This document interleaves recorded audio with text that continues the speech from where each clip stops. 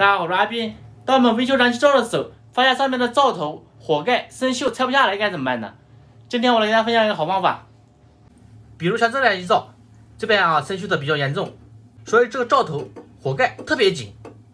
这边其实有两个，一个中间的小圈，一个外圈、大圈。其实像中间的这个小圈拆下来还是比较容易的，我们只需要一把管嘴钳就行了。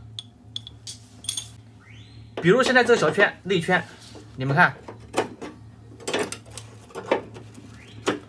特别紧，看到吗？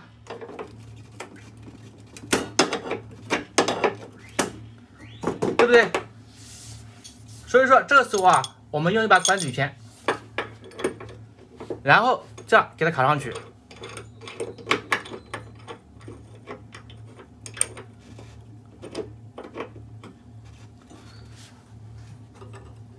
然后我们上下摇一摇。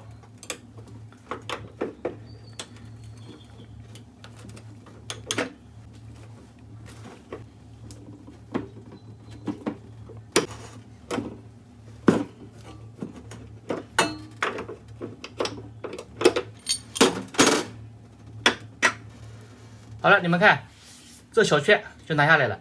我们只需要用干嘴钳，四周都给它撬一撬，这样啊就可以轻松的拆下来。你们看这四周拆去的比较严重。其实像这种最主要的是拆开这个外圈，外圈是最难拆的。你们看这个外圈现在也比较紧，拿不动。这个时候我们可以把这个小灶头放上去，然后给它点火。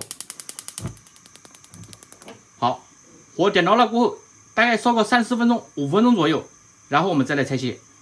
等于说，现在我们给这个燃气灶外圈给它加热，等于说是一个热胀冷缩的原理。当这边加热了过后，里面就容易膨胀，然后我们拆起来就简单多了。好，时间差不多了，现在我们关掉。然后我们准备两把螺丝刀，一边给它卡一个，然后。我们直接给它往上翘，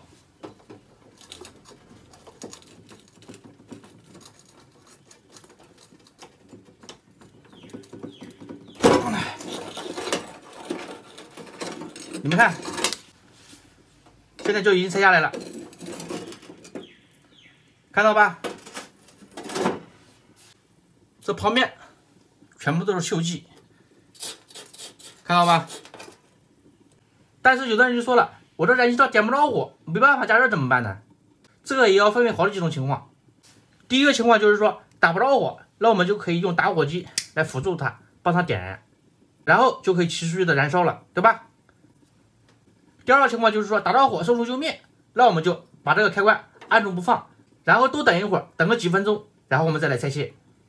第三个情况就是说没有燃气出来，打火机也点不着，那这个时候啊，我们就可以用那种火炬。焊枪来辅助给它加热，像我们搞维修的，一般的家庭都有啊。好了，今天的燃气灶火盖灶头锈死拆卸方法就分享到这里了。觉得有用的朋友记得帮忙转发点赞，再见。